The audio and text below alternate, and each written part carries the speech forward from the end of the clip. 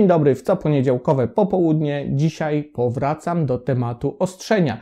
Troszeczkę mm, zmieniłem y, tematykę, jeżeli chodzi właśnie o y, wypuszczanie tych filmów, czyli na początku, jak powiedziałem, mm, było kilka tutoriali dotyczących, właściwie tutoriali, y, szkoleń dotyczących sposobów wyostrzania, które mamy w filtrach photoshopowych Później jednak z tego troszeczkę mm, odszedłem, bo nie chciałem, żeby to wszystko było po kolei i teraz wracam z ostatnią metodą i najbardziej zaawansowaną metodą, jeżeli chodzi o ostrzenie, czyli wyostrzanie inteligentne. Dokładnie dowiecie się, jak to zrobić, co przesuwać właśnie, y, jeżeli chodzi o okno, y, które okno edycyjne, tego, mm, tego filtra. Także dokładnie wytłumaczę Wam wszystko, na czym polega wyostrzanie inteligentne. Wcześniej tworzyliśmy y, maskę wyostrzającą, był filtr górno-przepustowy, no i dzisiaj mamy wyostrzanie inteligentne. Tak, zanim jeszcze przejdziemy do y, całego szkolenia, jeżeli chodzi właśnie o to wyostrzanie, to chciałbym troszeczkę podsumować to wszystko i Tutaj sobie spisałem, żeby mm, nie zapomnieć o niczym, ponieważ y, przeszliśmy te wszystkie mm, etapy szkolenia, jeżeli chodzi o wyostrzanie zdjęć, wyostrzanie obrazów, właściwie, bo tu nie chodzi tylko mm, o nasz obraz cyfrowy z aparatu, ale również możemy tego używać oczywiście na przykład do zeskanowanych zdjęć, także różnorodność jest wielka, jeżeli chodzi o zastosowanie tych różnych metod. I dlatego mm, teraz takie y, proste, a jednocześnie nie zawsze pamiętane przez wszystkich, którzy wyostrzają zdjęcia, y, mam to w punktach, uwagi oczywiście, które pomogą Wam, aby uzyskać coraz bardziej ostre i jednocześnie te zdjęcia, żeby nie były przeostrzone, bo Najgorsze jest to, żeby zdjęcie przeostrzyć, wtedy jest ono nienaturalne, nienaturalnie wygląda, nienaturalnie jest przyjmowane. Dlatego yy, pierwszą zasadą jest odszumienie przed wyostrzeniem, ponieważ jeżeli nie odszumimy podczas przed wyostrzeniem naszego zdjęcia, to ten szum także się wyostrzy, bo mm, jak cały czas powtarzam, jeżeli zrobimy coś nieostrego, to my tego nie wyostrzamy. Nasz mm, program nie wyostrza zdjęcia, on tylko y, zwiększa kontrast na krawędziach, czyli na włoskach krawędziach, na tutaj jakbyśmy mieli, on robi tylko mm, zwiększenie kontrastu właśnie na krawędziach. Nie ma czegoś takiego jak wyostrzenie. To tylko widzi nasze oko, po prostu subiektywnie później odbiera ten obraz jako bardziej ostry. Dlatego y, Podstawą, oczywiście podstawą podstaw jest zrobienie ostrego zdjęcia. Później odszumiamy, jeżeli oczywiście mamy to zdjęcie zaszumione. Y, następną rzeczą jest wyostrzanie na oddzielnej warstwie, czyli robimy Ctrl J lub po prostu mm, przesuwamy na ten kwadracik z plusikiem z prawej strony u dołu pod warstwami. Tworzymy nową warstwę i na niej robimy wyostrzenie. Najlepiej jeszcze, jakbyśmy to wszystko skonwertowali do obiektu inteligentnego. Wtedy mamy całkowite panowanie nad tym wyostrzeniem. Będziemy mogli później go to zmienić mm, lub jeszcze dodać tego wyostrzenia. Dlatego na to proszę zwróćcie uwagę, bo jeżeli dacie to na jednej warstwie, to praktycznie jest później cofnięcie tego wyostrzenia niemożliwe.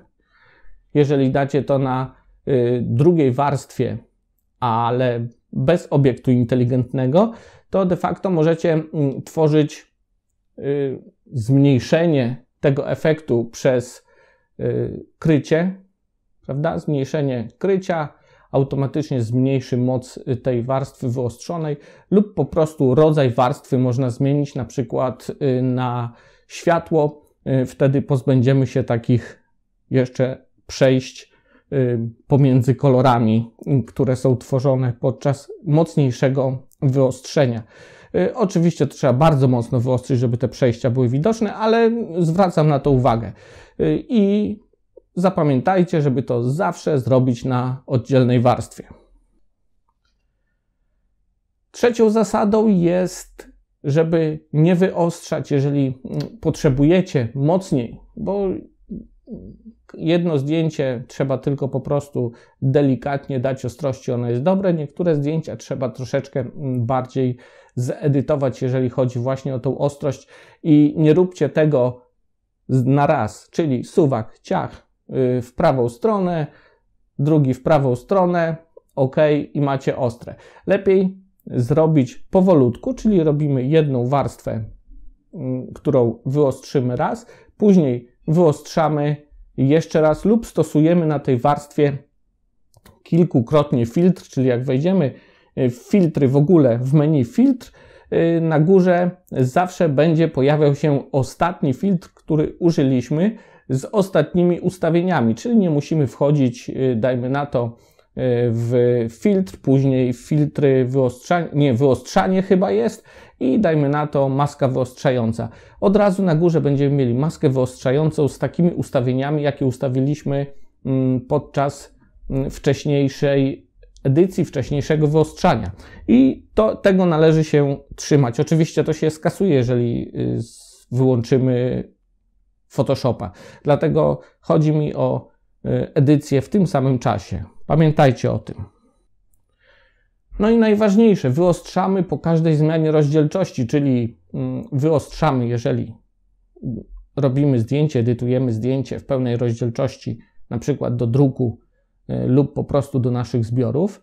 Później, jeżeli zmienimy tą mm, rozdzielczość do rozdzielczości, dajmy na to do Facebooka, do Instagrama lub cokolwiek innego, znowu musimy to wyostrzyć, ponieważ podczas mm, zmniejszania lub zwiększania rozdzielczości następuje degradacja tej ostrości i jeszcze raz trzeba to wykonać.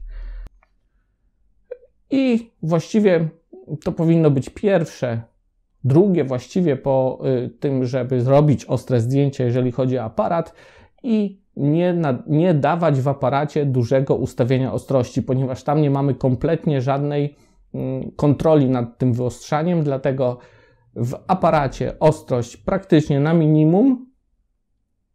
Jest tam takie neutralne bodajże ustawienie albo 0. Tam na minus już nie schodźmy. 0 wystarczy ustawić, y, nie dawać tego mm, wyostrzania mocniejszego.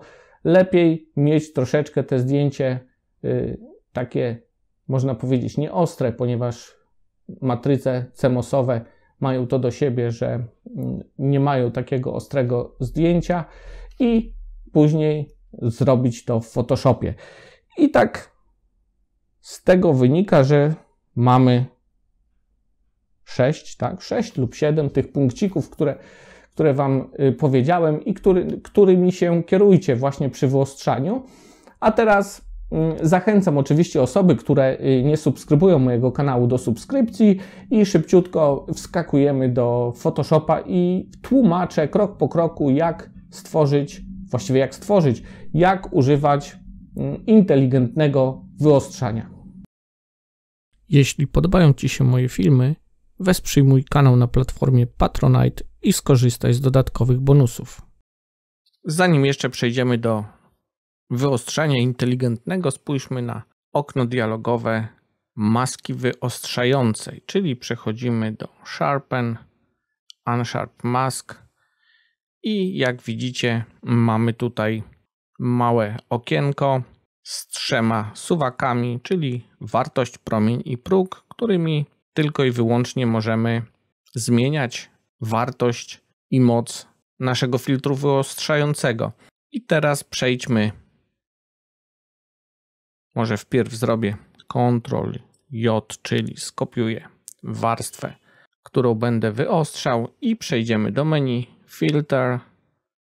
Mamy wyostrzanie i wyostrzanie inteligentne Smart Sharpen. I co nam się tutaj zmienia? Oczywiście, jak przy wcześniejszym filtrze, możemy, jeśli najedziemy na nasz obraz kursor zmienia się w taki kwadracik i wybrać tą opcję którą chcemy widzieć, aby była ona mm, tą wartością, wedle której wyostrzamy nasze zdjęcie. I co jest genialne i co mało osób wie, a zwłaszcza tych, które się przesiadły właśnie z maski wyostrzającej, która de facto jej okno jest nierozszerzalne, nie można z tym nic zrobić, to tutaj jeśli klikniemy, jak widzicie, na sam koniec okna, zmienia się kursor z oznaczeniem, że możemy to nam rozłożyć, rozsunąć właściwie lub sunąć w zależności od potrzeb. I patrzcie, możemy jeszcze bardziej mieć to miejsce, które będziemy patrzyli do wyostrzenia, lepiej widoczne. Oczywiście możemy skalą zmniejszyć jeszcze mm, tą wartość, zwiększyć oczywiście wielkość naszego okna i bardzo dobrze już widzimy w tym wypadku, y, co chcemy wyostrzyć i jak to wyostrzenie będzie przebiegało. I to jest taki pierwszy i powiem, że naprawdę rewelacyjna, rewelacyjny skok do przodu, jeśli chodzi właśnie o filtry wyostrzające. Od razu co pojawia nam się, jaka zmiana pomiędzy właśnie maską wyostrzającą, a wyostrzaniem inteligentnym, to mamy presety, czyli ustawienia predefiniowane. I tutaj możemy sobie stworzyć swój lub po prostu zapisać albo od kogoś lub wcześniej stworzony mm, wczytać i będziemy mogli na przykład jeżeli robimy zdjęcia mm, danej danego ustawienia, które, które cały czas mamy takie same, ustawić sobie preset i już nie martwić się ustawienie reszty suwaków i ich y, tutaj całe parametry, tylko wciskamy preset i robimy OK i mamy już zdjęcie wyostrzone wedle swoich wcześniejszych upodobań. Poniżej mamy suwak wartość, który jak sama nazwa wskazuje określa naszą intensywność wyostrzania. Jeżeli przesuniemy go w stronę prawą, to nasz stopień wyostrzenia wzrasta. Właściwie wzrasta kontrastowość pikseli na krawędziach i jeżeli damy w stronę lewą, to zmniejszymy tą wartość. I tutaj tak jak samo, tak samo jak mówiłem przy masce wyostrzającej. Takim najbardziej dogodnym ustawieniem, jeśli chodzi o ten suwak, to jest ustawienie między 200 a 300%. Także starajcie się właśnie między tymi wartościami ustawiać ten suwak, aby wyostrzenie było jak najlepsze. Oczywiście to jest to uzależnione od szczegółowości zdjęcia i rozdzielczości zdjęcia. Im więcej szczegółów, tym większe wyostrzanie, ponieważ duża ilość szczegółów bardzo lubi dużą ostrość. Także jeśli mamy dużo szczegółów, ustawiamy y, większą wartość właśnie ostrości. Następną wartością, właściwie suwakiem do ustawiania jest promień. Promień pozwala określić liczbę pikseli otaczających krawędź wyostrzania i są one także uwzględniane podczas wyostrzania.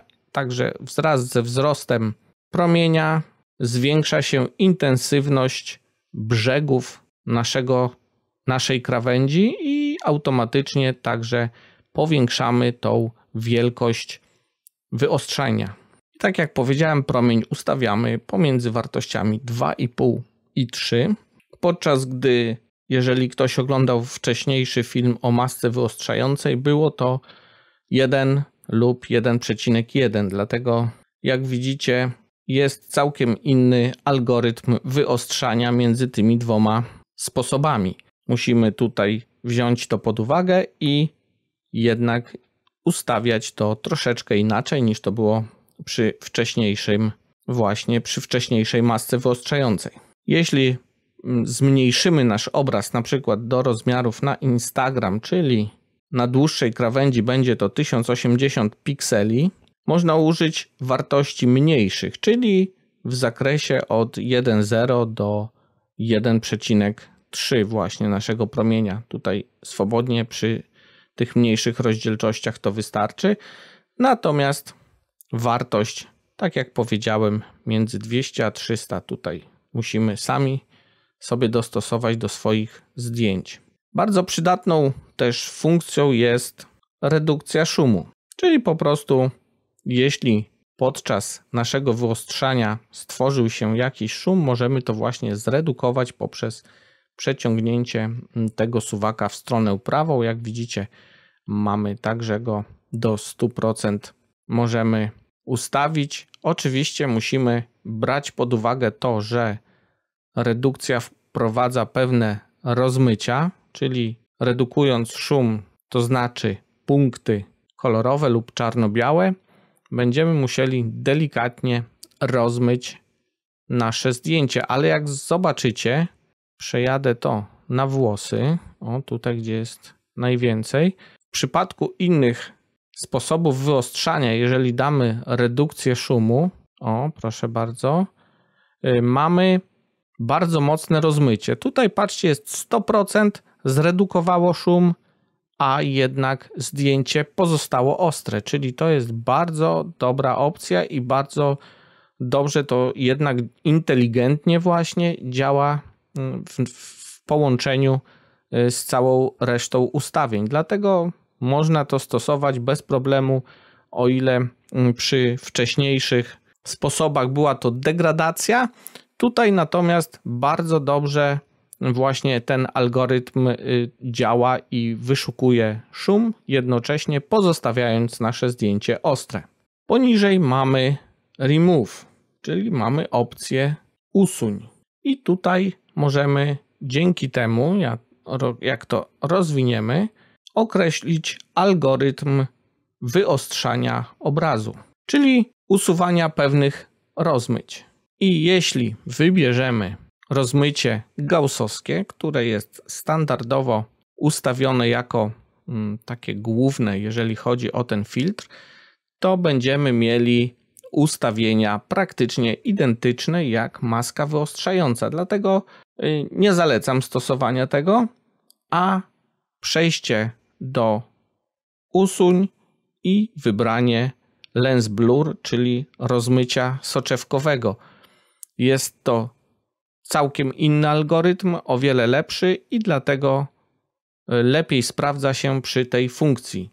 Czyli jeśli będziecie w ogóle z tego korzystać, ja mam nadzieję, że będziecie, bo jest to o wiele lepsze niż maska wyostrzająca, to zawsze tutaj wybierzcie rozmycie soczewkowe. Jeszcze dokładając troszeczkę właśnie do tego rozmycia soczewkowego, zapewnia ono wykrywanie krawędzi i szczegółów obrazu, a daje to dzięki temu lepszą jakość wyostrzania tych szczegółów i zmniejszymy efekt otoczek jasnych na naszym zdjęciu.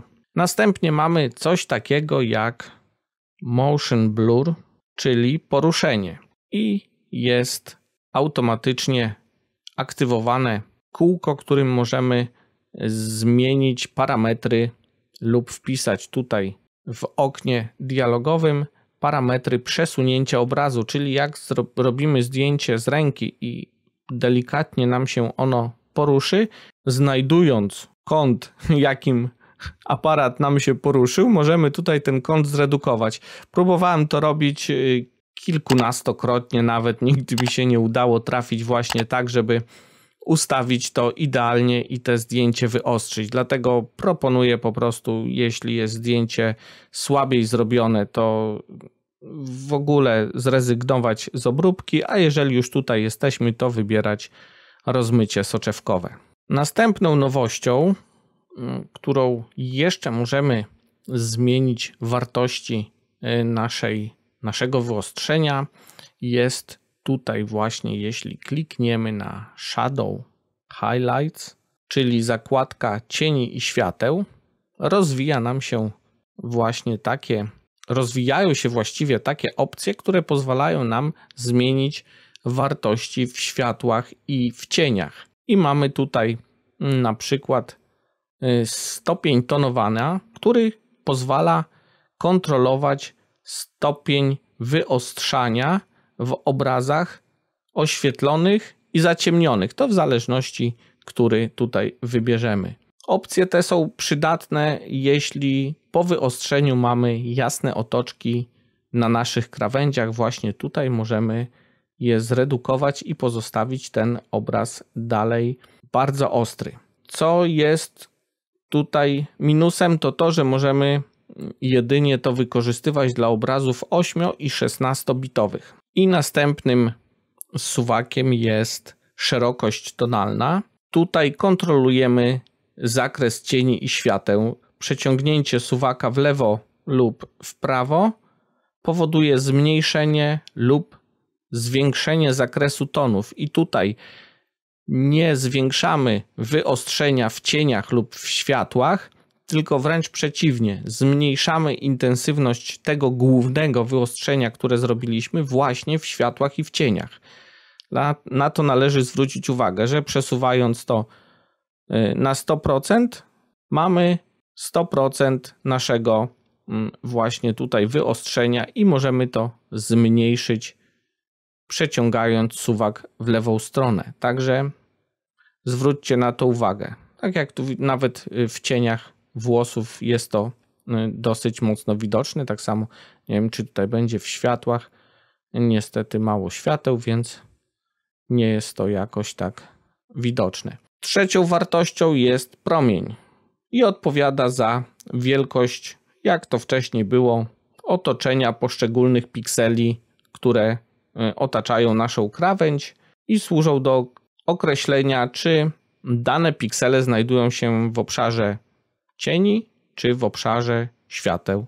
Także zwiększając jego wartość, y, właśnie zwiększamy te obszary świateł lub cieni tych pikseli, które otaczają nasz, naszą krawędź, którą będziemy wyostrzać. I robiąc OK, zatwierdzamy nasze ustawienia i tak oto przeszliśmy przez wszystkie filtry wyostrzające jakie mamy w Photoshopie. Mam nadzieję, że ten film Wam się podobał. Oczywiście zachęcam do subskrypcji i kciuczek w górę, jeżeli tak właśnie było. Jest to chyba koniec, jeżeli chodzi o całą serię wyostrzania, bo nie ma już filtrów wyostrzających więcej w Photoshopie. Zapraszam na moje kolejne filmy. Pozdrawiam i do usłyszenia, do zobaczenia. Cześć.